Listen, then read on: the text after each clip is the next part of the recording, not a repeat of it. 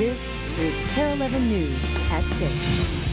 People will tell you the feeling you get from giving can keep you coming back for more, and we have a great way to catch that fever. It's in our Toys for Tots tent tonight. Hey, Di. Yes, we've been talking about how uh, the snow might be keeping some people from going about. Well, not the hardy Minnesotans who are joining us. We've got some hardy Minnesotans. I'm going to squiz right in here, and I'm going to have you come this way and join me because your group's right behind me. This is Andrea from New Reflection Salon. What did you guys do?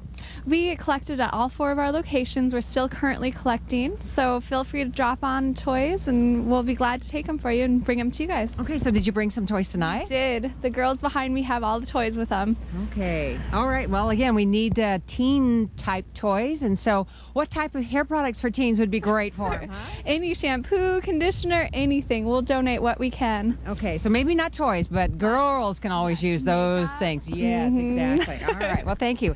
KARE 11 News at 5 continues right after this.